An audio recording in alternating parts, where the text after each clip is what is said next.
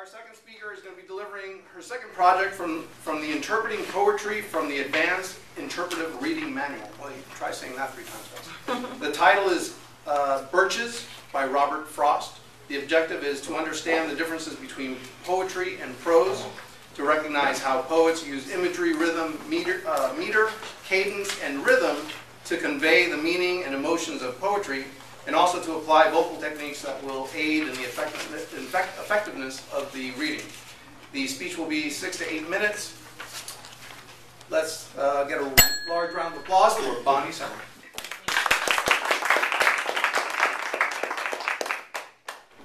Good evening, Toastmasters, guests, guest. I'm going to be doing a poem, I'm going to be reading a poem called The Bonfire by Robert Frost. And I tried to find an analysis because I wasn't sure. This is basically my analysis of it, is that it's about a, a guy who decides to pile up a bunch of leaves and start a bonfire. Eh, He's kind of a pyromaniac. and uh, I thought, you got a thing. Okay. I thought that this would be perfect going into the fall. This is a perfect poem. Let me know what you think.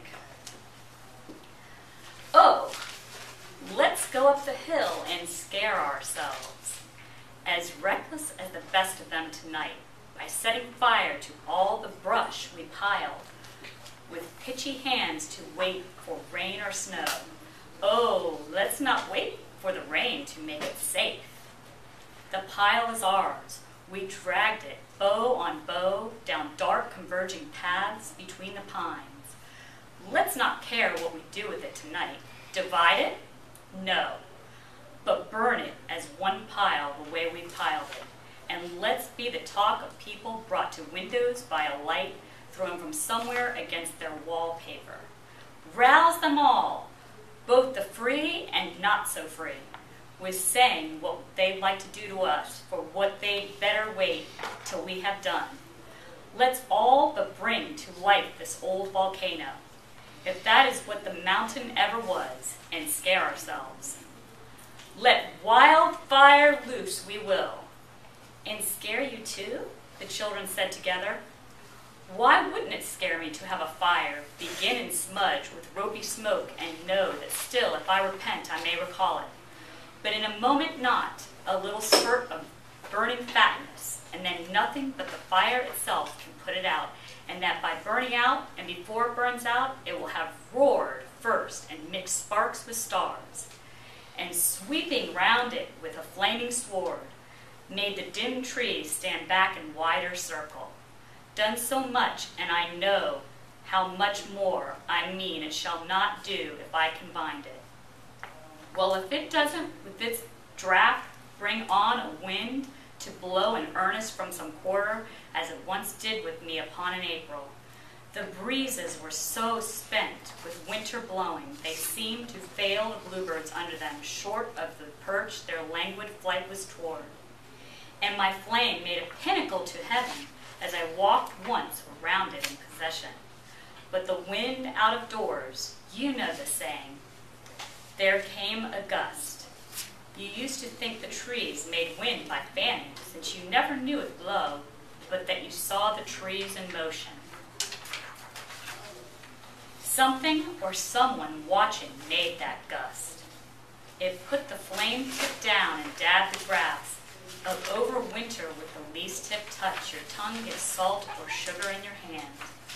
The place it reached to blacken instantly, the black was all there was by daylight that the merest curt of cigarette smoke, and a, a flame slender as the hepaticas bloodroot, and violet so soon to be now. But the black spread like black death on the ground, and I think the darkened the sky darkened with a cloud, like winter and evening coming on together.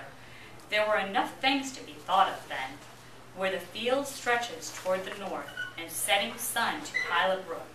I gave it to flames without twice thinking, where it verges upon the road, to flames too, though in fear they might find fuel there and withered grape. Grass its full length, old silver goldenrod and alder and grapevine entanglement to leap the dusty deadline. For my own I took front, there was the side. I knelt and thrust my hands in and held my face away. Fight such fire by rubbing, not by beating. A board is the best weapon if you have it.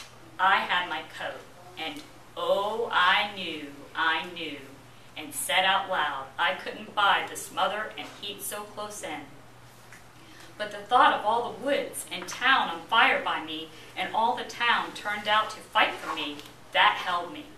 I trusted the brook barrier, but feared the road would fail, and on that side the fire died without a no- noise of crackling wood. Of something more than tender grass and weed, that brought me to my feet to hold it back by leaning myself back as if the reins were around my neck and I was at the plow. I won! But I'm sure no one ever spread another color over a tenth the space that I spread coal black over in the time it took me. Neighbors coming home from town couldn't believe that so much black had been there, while they had black backs turned, that it didn't that it hadn't been there when they had passed an hour or so before, going the other way, and they had not seen it. They looked about for someone to have done it, but there was no one. I was somewhere wondering where all my weariness had gone and why. I walked so light on air in heavy shoes, in spite of a scorched Fourth of July feeling. Why wouldn't I be scared, remembering that? If it scares you, what will it do to us? Scare you. But if you shrink from being scared, what would you say if war to war if it should come?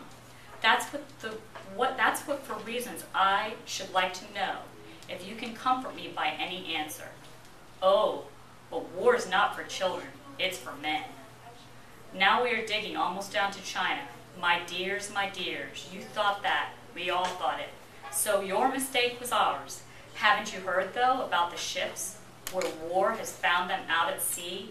About the towns where war has come through opening clouds at night with droning speed, further overhead than all but stars and angels, and children in the ships and in the towns?